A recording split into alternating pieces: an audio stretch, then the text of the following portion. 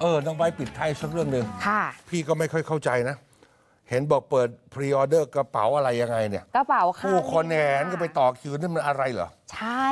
กระเป๋า CARLYN เป็นกระเป๋าสุดฮอตแบรนด์ดังจากเกาหลีค่ะสยาม Discovery เขาเปิดให้นักช็อปเนี่ยพรีออเดอร์กระเป๋าแบรนด์ดังนำเข้าอย่างเป็นทางการในแบบ Exclusive เฉพาะที่สยาม Discovery ปรากฏว่า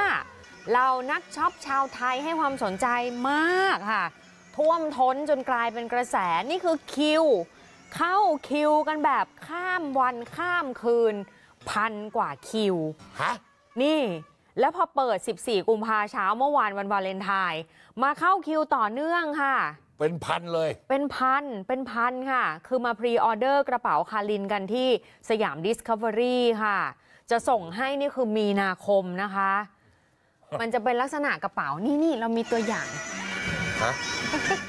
นี่ของทีมงานของเราคนหนึ่งยายหนู นี่ ไปพรีออเดอร์มาจากเกาหลี ค่ะ มันอะไรทำไมต้องไปมันต่อจะเป็คินวขนาดนั้นกระเป๋าใส่แม่เอาแม่น้องของไม่เอาลองก็ลองเดี๋ยวหาว่าโฆษณาไม่ใช่นะ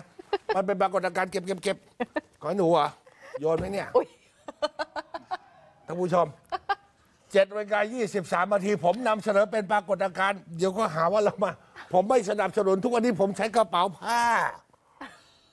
ช่วงหน้ากลับมา